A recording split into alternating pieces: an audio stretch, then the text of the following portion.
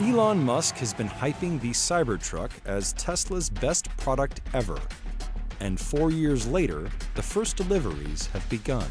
It's very rare that a product comes along that is seemingly impossible, that people said was impossible, that experts said was impossible.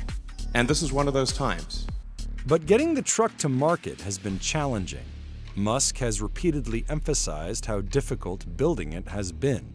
The Cybertruck, I've driven the car, it's an amazing product. I do want to emphasize that there will be enormous challenges in reaching volume production and then in making the Cybertruck cash flow positive. We dug our own grave with Cybertruck. You're building a stainless steel vehicle, which has really been done hardly ever in the history of the auto industry, and that alone was going to make it challenging.